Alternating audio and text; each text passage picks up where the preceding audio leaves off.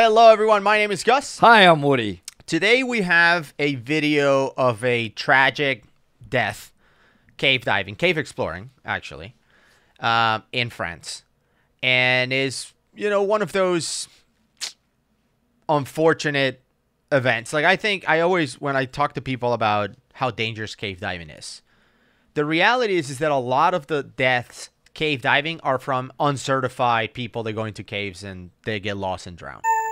Right? It's rare that you hear of a death of somebody like you know like Brett Hemphill for example from from KUR it is rare that you hear of deaths like that. Um, most of the deaths are are unrelated to cave diving. They just happened to dive in a cave but they were not cave divers. This one is not one of those. This one was a legit cave diver who had an incident in a cave unfortunately died in France. And because there's survivors right? His body survived. We have a kind of events of what happened and we get to react to that today. Okay. but just to set the stage because i didn't we're not reacting to the whole video all right? If you want a link to the entire video it's in the description. We always add the link to the source. Um, you can watch the whole thing. But basically three guys john john and charles i believe three guys are cave exploring in this cave in france who is which the water is frigid 365 days a year the water is 42 mm. very very cold. Nobody understands why. It can be like hot outside but the water is frigid. So not a lot of exploration have been done here. I think two expeditions one laid like i think it was three or 400 feet of line. That was it. Mm. Then the second one laid to like 1500 feet or something and then these guys were going back to lay even more. Okay. but it's a tight squeeze. Mm. So it's a tight cave, and that's. I'm just setting that up because we're jumping in the video like five minutes in, that kind of thing. Okay. The three friends' expedition into the cave's depths would be fraught with danger at every turn. By the way, one of the Johns, the John that survived, is John Volanthen, who's a legend in the cave diving community and was one of the two main divers that rescued the Thai cave kids. Hmm. So it was Rick Stanton and John Volanthen. They were the two guys. So if you watch any of the movies, there's a John. That's this John. This guy. The narrow, shallow passages presented a treacherous challenge, with the ever present risk of damaging crucial equipment. In an environment where every inch and every second counted, these constricted pathways significantly impeded the possibility of a swift retreat in case of an emergency. On the eve of this fateful dive, John Manili faced grave concerns from his friends and fellow divers, John Volanthen and Charles Reed Henry. They warned him about the considerable size of his rebreather, underscoring the severe impracticality and inherent danger of using such bulky equipment in the cave's more restrictive and perilous sections. Do we know what kind of rebreather by chance? I don't remember if they if they talked about the kind of rebreather, but I think it was a back mounted rebreather. Okay. And you know, when you're squeezing through stuff, having anything on your back limits what what you can squeeze through. As a matter of fact, you and I have explored caves in Mexico where the end of the line was at a place where you could still keep going because we were in side mount rebreathers and side mount tanks versus the original explorers that could only go up to that point because it got too small. And then you and I continued past the end of the line, uh, exploring new passages because of the equipment that we have. So the concerns they have are valid. We do think about that. What kind of equipment do you have? Can you fit through it? And um, you know, these guys apparently had that concern. Yet, Manili, in a move marked by recklessness, chose to disregard these warnings, emboldening himself to confront the cave's looming threats with gear ill suited for its harsh realities. Hmm. Adding a layer of peril to this already dangerous endeavor was Manili's compromised physical state. I want to talk about this for a second because I think it came up during the incident that we had in Abaco, right? Where it was like, well, if you knew that the hole was too small, why do you go anywhere? Why do you even try it?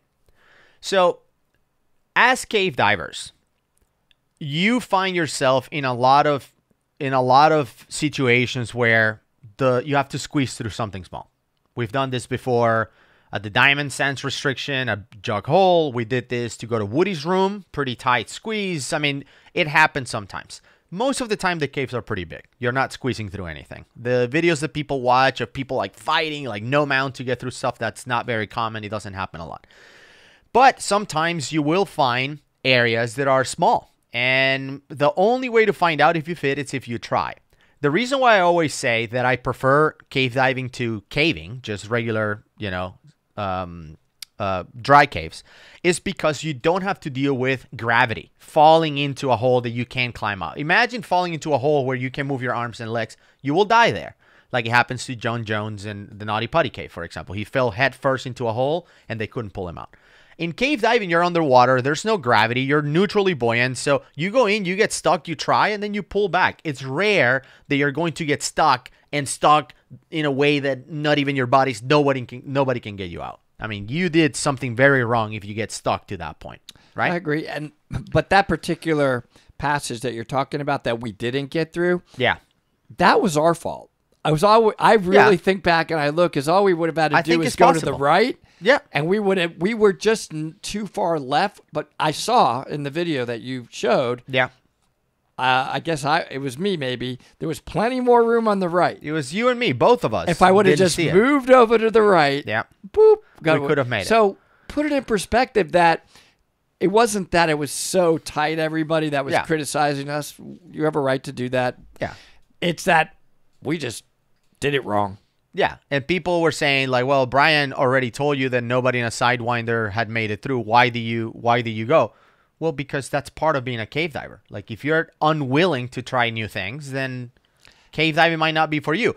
and by the way, he had a way just just Yeah. to remind. I don't remember if this was in the video. He briefed us that it's no problem, guys. I could come around and get you and pull you right out. Right. So this isn't a risk because Right. I have another way of getting you. He, But that that was. I think we left that off the video. By the way. Yeah, but the point Should've is said that. The point is there's a lot of situations where you as a cave diver find yourself in, in, in stuff like that. And then you add the level of comfort that you have removing gear to make it through. We have divers, you know, friends of ours, like Doug Ebersole, for example, who says his limit is removing gear. It's like if I have to remove tanks and things to get through that restriction, that's my limit. I don't want to do that. It's not that he's unable to do it. He can do it better than us, probably. But he just doesn't want to do it. He's like, to me, cave diving is fun. And the idea of having to remove gear to fit through a hole doesn't sound fun to me. To, mo- to other people, they crave it. Other people, you know, friends that we have, like Benjamin, for example, he he Take looks off everything. like, can we go to a place where I have to, Right. to get naked to get through, right? Uh, there's people like that. There's all kinds of people in cave diving. I think for me and you, probably we have like within reason. Like, can we remove a tank and put it back on? Yeah, it does. It's not crazy. It's about my li- one tank, yeah, maybe. but it. removing my whole rebreather, no, I don't think I'm willing. to Zero do that. chance I'm doing I- that. It just doesn't sound fun. Can I do it? Sure. Can I in an emergency if I have to take off my whole rebreather? Sure. And I think there's a there's an advantage to not removing gear and fitting through restrictions is that you can always remove gear to get out. If getting out is tougher or if you're in an emergency. So like if I go in with both tanks on me, I know that taking one off will make it easier to fit through the same hole. So I always have that in mind. But if you struggle to get through, no mount, meaning nothing on your body and you struggle, dude, getting out is gonna be potentially way worse. definitely. So this guy, he was briefed on it. They said, look, the exploration from what we've learned in the past is pretty tight. That rebreather on your back is pretty big. Are you sure about this? He can make a calculation. There's no daredevil thing. This is just, yeah, I've maybe I've done it before. I've taken my rebreather and put it back on before. I'm good. And his body's trusted him, you know? So it's not out of the ordinary. I don't want anyone watching this to be like, this guy was nuts. No, there's a lot of cave divers who remove gear to get through stuff. It's common.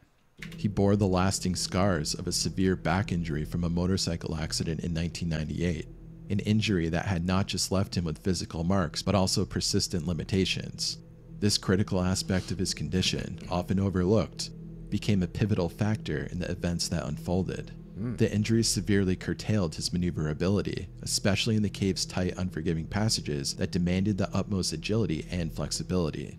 As the three friends would have to delve deeper into the cave system, the combination of the challenging environment, the bulky equipment, and Manili's physical limitations created a scenario fraught with danger. The cave's claustrophobic passages became a gauntlet barely wide enough to allow passage. Each move carried weight in the hostile underground world, and the shadow of potential catastrophe loomed large over the journey. Beneath a modest 12 by 16 foot or 3 by 4 meter opening, the beginning of the cave plummets to a daunting 5 meters. Divers Five begin their descent Daunting through a vertical meters. crack, What? or known as 15 feet? S1, leading to the ominous edge of a shaft called S3. The cave's complex layout includes several chimney halls, dropping to a chilling 215 feet or 65 meters. That's. A hazardous passage, widened yet treacherous, lies 541 feet, 165 meters beneath S3. The journey beyond is marked by poor visibility, dense sediment, and the challenges of navigating with scooters. The fissure's floor, strewn with sharp fossil rich boulders, leads to a constricted passage culminating in a disturbance zone at 1,800 feet, 555 meters, that descends into a steep gravel filled corridor. This formidable cave stretches over 4,576 feet, Look at that 1,400 meters, looks awesome. presenting a harrowing challenge to even the most skilled cave Did it well. On Yeah. September 28, 2008, the expedition commenced with John Manili, John Volanthen, and Charles Reed Henry to explore the source of Dudube. Embracing the practice of autonomous diving, each member ventured into the cave's depths independently, facing the unknown without hmm. the aid of a team. Hmm. The entrance to the cave presented the first test of their resolve. Buried with a cumbersome rebreather, John Manili cautiously navigated the confined space. Every move was measured, as the risk of entrapment in such tight quarters was a constant threat.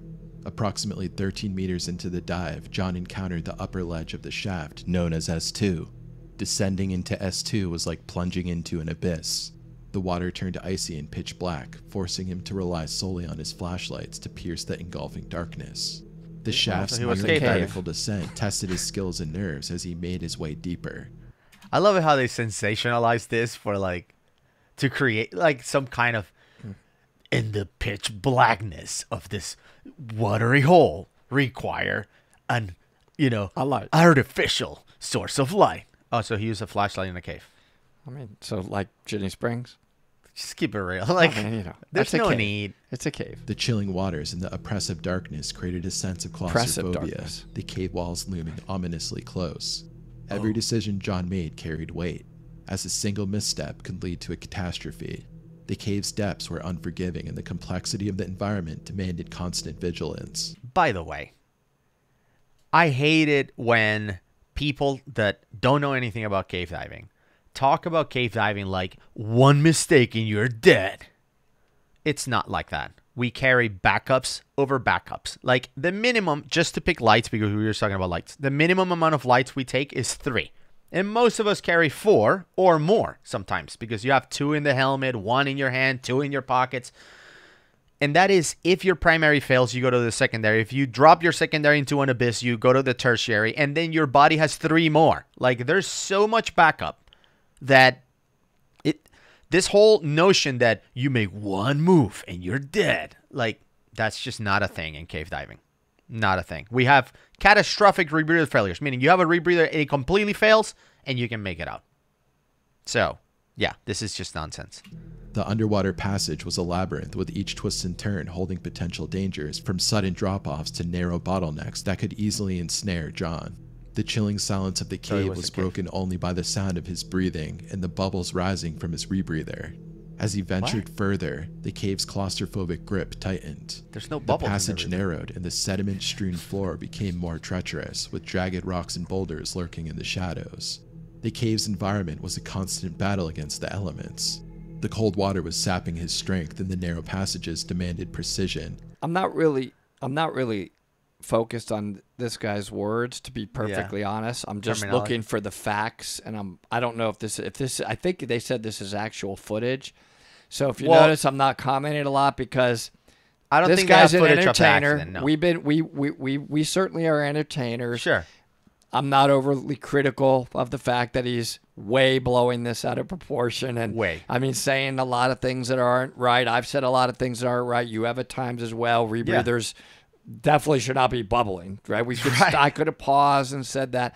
So let's we'll leave that alone. Right. And now I'm trying to focus on the facts of, you know, what happened here and go from that.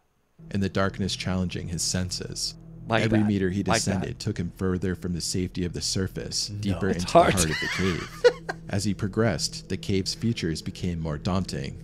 The Stalactites we and stalagmites formed the less eerie shapes he was in the beam of his lights. the water's chill penetrated his wetsuit, reminding him of the cave's indifference to human presence. As John Manili descended deeper into the source of Dudu, the environment transformed into a more menacing and constricted labyrinth. The more he looked down, the less he looked 1,056 feet, 322 meters, the shaft's descent became steeper. Did ChatGPT help you write this? like, please write a description, a narrative of the most dangerous and adjectives you can use to describe cave diving, and then you know, ChatGPT. Like, I, am gonna do it while you're playing. And this. when he stopped Watch this. kicking, I'm gonna do it. I'm his gonna do legs it. were moving. I'm gonna do it and read it uh, and see what I, Wine comes up with. All right, It I'll led him to an now. ominous, more giant obstruction hole, its mouth cluttered with chunky, blocky materials. To the right Known of the as shaft floor, a narrow crevice beckoned, leading to an uphill cave passage. This area was fraught with challenges. A significant sediment accumulation resulted in intense turbidity, clouding John's vision and complicating navigation. Yeah, this is the ChatGPT. water, It has liquid particulate matter, Nobody created a talks like disorienting, murky veil, demanding the utmost concentration and skill to proceed. Despite the conditions, John's resolve remained unshaken. The underwater realm fueled his determination with its dark Oh, beauty it and profound silence. ChatGPT loves the word realm. I can tell you that. That's that a tattletale, yeah. It does. Watch this. Deep beneath the surface of the ocean, hidden from the prying eyes of the world above, lie the treacherous and forbidding underwater caves. What? ChatGPT is busy writing the most scary description of caves right now. Dive so we talk could do tales. this. We could do one. You and I one. All right, all all right. The walls of the underwater caves are jagged and unforgiving. I, we oh may Oh have called God. this guy out. That's exactly. As you oh. navigate through the labyrinth tunnels, the sense of claustrophobia intensifies. Dude, did you chat GPT this? I'm just saying. I'm, just, I'm sorry. I didn't mean to call that out. I could. I just knew it. I Oh, knew. I know the words. The passage of time becomes distorted in the depths of these underwater caves. I'm not making it up. Look, it's typing it. is It's exactly- it. This is it. oh no, Yes. dude, that's all you Is need. that So to tell you da- stories. if you dare to venture into the depths, prepare yourself for a journey into the heart of darkness. it goes on and on. It's perfect. This is. Hold on. I I'm feel so bad. sorry. I feel I feel bad. because It's okay. this guy died, and but this that but that's we I just couldn't help it. that's it. That's how this is done. Absolutely. Oh. Now you know. Navigating through the cave, John encountered a passage on the left, a hmm. gateway to a further valley side corridor. The narrow and hmm. treacherous gateways passage my- had been slightly expanded in 2002, yet remained a daunting challenge. With seasoned expertise, John meticulously maneuvered through the claustrophobic route. Yeah, it likes His every daunting. Movement just saying I have calculated and here. deliberate. Yeah, that's the it. confined Yeah, space demanded exceptional control and awareness, as any misstep oh, could Oh, that's lead to entrapment or equipment failure. Monitoring his depth gauge and air supply with unwavering attention, John advanced through the passage and commenced directly below into the shaft floor of S3. The, same. once open hall had succumbed to a collapse, burying its initial 98 feet or 30 meters and transforming it into a treacherous maze of debris and tight squeezes. After covering a daunting distance of approximately Daunting. 1,821 feet or don't know why 550 meters, he arrived at the word. First major fold well. zone Yeah. a geological challenge marked by steep slopes and unpredictable terrain. Angling sharply downward, the passage was lined with accumulations of gravel banks, remnants of ancient underwater currents, now silent and still. The gravel banks, a labyrinth of natural barriers, impeded his progress, forcing him to navigate cautiously. The loose gravel and the steep Oh, incline GPT created a treacherous It landscape where every really movement could some- trigger a cascade, altering the cave's delicate equilibrium. As John delved deeper, the cave's confining walls seemed to close around him, creating a palpable sense of claustrophobia. The limited space combined with the sheer depth he had reached underscored the risks of his solitary endeavor. His This air supply, a lifeline in the so I submerged did don't world, like read the was ChatGPT. dwindling, It's 100. and he was acutely aware of its preciousness. You want me to read all of mine? Adhering to We the rule of thirds, this and I a could read critical safety and protocol in narrative cave for the video. diving, John calculated his air here we go. reserves, ensuring he retained enough for a safe ascent. In scuba diving, particularly in overhead environments like caves and wrecks, Okay, the rule of thirds is a critical guideline for gas management. That's right. It mandates that divers allocate one third of their gas supply for the onward journey. Yeah, but he was on a rebreather. So the rule of thirds is not Well, for bailout, it does apply. for bailout, but it's not as applicable. Meaning, it's not a- applicable in the way he's talking about rule of thirds. It is true. When you dive in rule of thirds, meaning you're open circuit, you use a third of your air to penetrate the cave and a third of your air to come out, leaving a third for emergencies. But because you're on a rebreather, you're not using that air. The air you would use if you need to bail out, meaning catastrophic rebreather failure, you don't have a rebreather anymore. Now the gas is to get out. So your entire bottle, not one third, two thirds, th- the whole thing is to get out of the cave. So the rule of thirds doesn't really apply the way he's describing it to the type of diving John is Yeah, doing. we- we're going to plan our bailout gasp as if we had a catastrophic rebreather failure in the worst place we could in the cave. So, in other words, what we do is we plan on a rebreather how much penetration, how deep back are we going to go into the cave from the entrance based on the gas we're carrying and our surface air consumption rate of uh, you individually. Yeah. Would that be an and we we buffer that as well. We usually multiply that by one and a half, and we even factor in maybe for the first three minutes we're gonna have a CO two hit, so we're gonna be breathing fast. So we we we plan that we have enough gas to get out Yeah, of we- that emergency. That's kind of how we do it on a rebreather. Yeah, as an example, uh, if our surface rate consumption is 0.4 cubic feet per minute, we calculate it at a 1. That's 2.5. Exactly. So it's way, way conservative. another third for the return, and reserve the final as a crucial safety margin. The rule is essential. But he was diving with descent is not an option. divers and the that are on divers open must circuit. retrace their path to exit. I think When they're diving probably with a buddy, especially Oh. one with a higher gas consumption Then rate. that wasn't the real third is video. often based on the buddy supply, necessitating an earlier turnaround or carrying The footage that he's talking about is footage from that cave, but it's not footage from the incident. Got it. carrying extra gas for safety. This cautious approach ensures a safe return Ben from these Boss. treacherous underwater environments. As he prepared for return to the entrance of the cave, he felt good that he made it this deep into the passages, but due to his air running low, he knew he needed to get out. Retracing his path, John faced the obstacles he had navigated on his descent. Each twist and turn of the cave was a puzzle, demanding meticulous attention and skill. The journey back was as much a mental challenge as a physical one. Each stroke took him closer to safety, but the oppressive darkness and the knowledge of the cave's hidden dangers That's weighted heavily on him. The return swim was a race against time and his dwindling air reserves. Navigating through the cave's claustrophobic passages with a cumbersome rebreather presented a formidable challenge. The precariously positioned boulders could easily become dislodged, transforming the route into a perilous trap. Yeah, John was aware good. of this, but he Sure. continued to push. The end of the S2 section posed a formidable challenge, strewn with large boulders that created a series of tight squeezes. Maneuvering through this section was a delicate balance of technique and caution. The tight confines of the underwater labyrinth seemed to constrict around him, leaving little room for maneuver. To alleviate his struggle, John made a critical decision that would soon escalate into a dire situation. He chose to remove his rebreather, a decision that, mm. under the circumstances, seemed necessary but was fraught with risk. Squeezing through the narrow gap without the bulk of a rebreather, he relied on an alternate air source a bottle he held under his arm. This temporary solution, however, brought its own set of dangers. The cave's oppressive walls, unyielding and close, pressed in on him, exacerbating the difficulty of his movements. His pre existing back injury from 1998 further complicated his situation, making it impossible to put on the rebreather again in such confined quarters. Yeah. Faced with limited options and a rapidly deteriorating situation, John decided he needed to move faster to head back to the surface, he bailed navigating the tortuous path with the air bottle tucked under his arm. The ascent, however, took a treacherous turn. Suddenly, the bottle detached from the rubber hose of his mouthpiece, leaving him in a serious predicament far from the cave's entrance. So, So I'm the so lost. Wait, I- with the mouthpiece.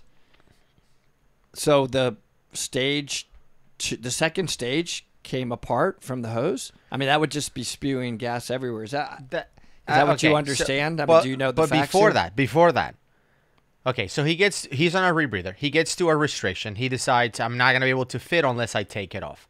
But once he took it off, he didn't stay in the loop and swim No, his rebreather like in he front. He just took the whole thing off to like push the rebreather, and then he was he bailed out. I guess. he guess. used his bailout gas. That's what it sounds like. So If he, that's right. So he went to a bell. I guess he closed the loop. He's pushing the rebreather through the hole, and he's bailed out.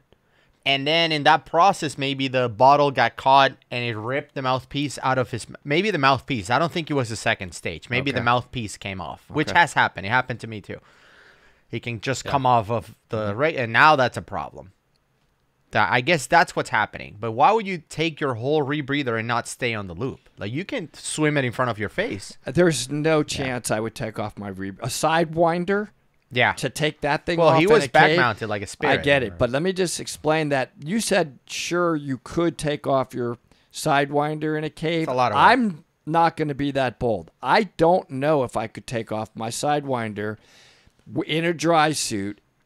It's so configured and a part of my body. I don't know if I could do that in a cave. Mm-hmm. I, I I honestly don't think I could. It's it's difficult, and you would have to, I guess, keep the bailout bottles together with a unit because they're hanging out of the Yeah. webbing of the of the wing. Yeah, boy, I It would be very complicated. it'd be really it's possible, tough. but it would be it would be complicated. But I would try to stay on the loop if I have I mean, to take maybe in a pool, you and I one time we'll try. Try to let's take get all off. Rigged out with our side mount, you know, mm-hmm. tanks on, and try without anybody helping you take off that entire sidewinder. I just don't think I can do it. It will be a I'm challenge. calling myself out. I Yeah. really don't. I'm thinking about it more and more. I don't think I could. that could be a good Stranded challenge. without an air supply in the suffocating embrace of the underwater cave, panic set in. In a frantic and desperate search, John attempted to retrieve the lost air bottle, but his efforts were in vain. The murky waters and the tight space hampered his movements, turning the cave into a disorientating, treacherous maze. As the precious seconds ticked away, the lack of oxygen began to take its toll on John. His breaths became shallow, his movements sluggish, What and breath? his vision He has no blurred. The cave transformed from a challenging dive site into a nightmarish trap in these harrowing moments. The darkness of the surroundings, the weight of the water above, and the daunting realization of his predicament converged, creating an overwhelming sense of dread. As oxygen deprivation intensified, John's struggle reached a critical point. His consciousness began to slip away, succumbing to the suffocating grip of hypoxia. Isolated and helpless, far from the safety of the surface and trapped within the unyielding confines of the hmm. cave, he faced the stark reality of his circumstances.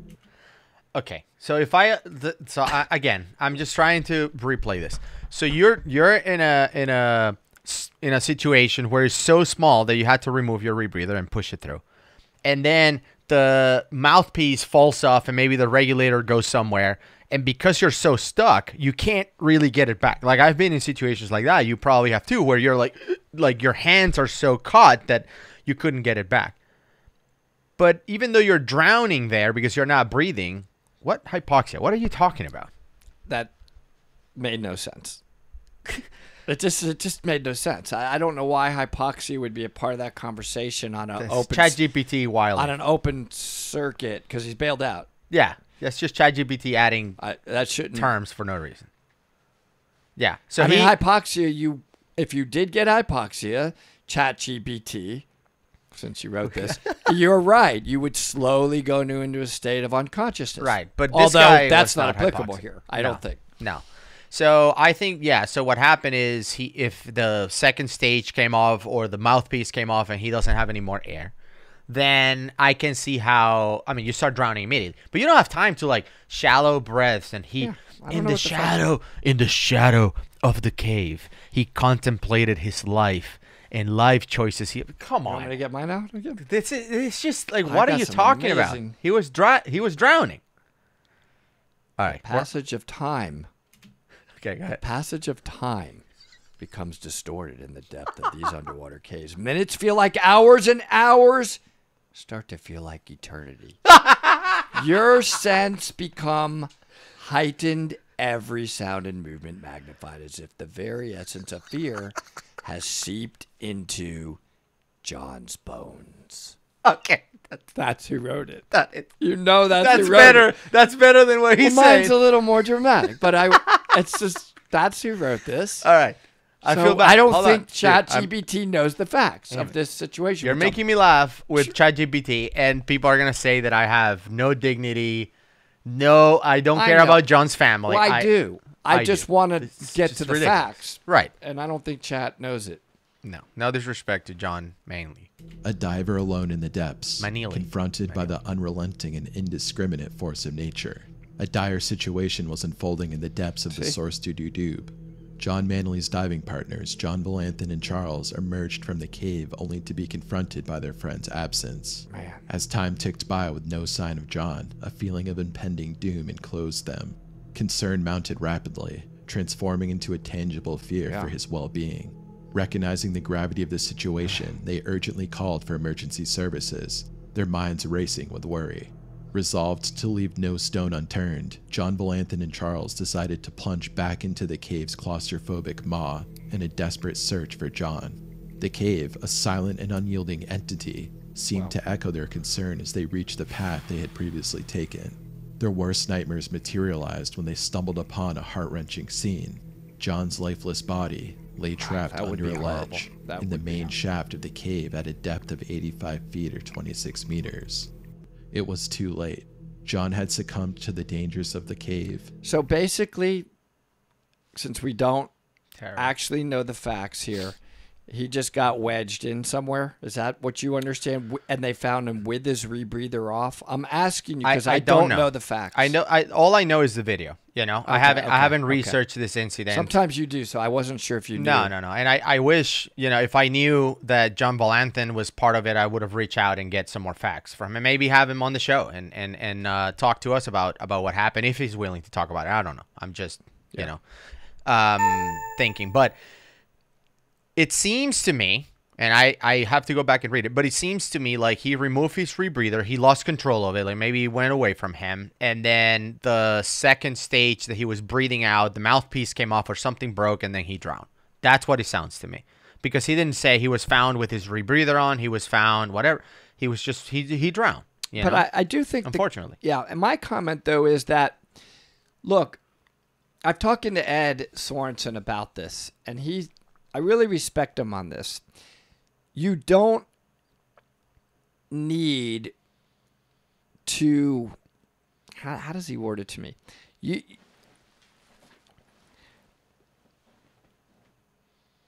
you don't you don't have this incredible skill set after some number of cave dives that you think you have Right. until you've been in a really bad situation. yeah, And so Ed is always telling me, like, we'll talk about stuff like this, like, why do this? You know, don't do that unless you're with somebody else. And these guys, by the way, are very experienced. So I'm not, I'm not saying it about Absolutely. them. I'm not saying it about them. I'm Yeah. saying it about me. Yeah. I can talk about myself. I don't want to do that stuff right, because I don't feel like I have that skill set. I don't I'm not taking off my rebreather in a cave.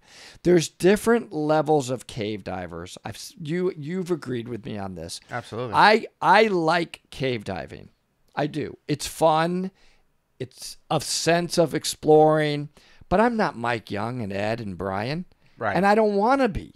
I'm not looking to get to their level. I want to be cruising around on my DPV. I want the privilege of seeing what Brian will show us just some absolutely spectacular caves. But 99% of my cave diving is already explored passage with very experienced uh, cave divers that are basically taking me around.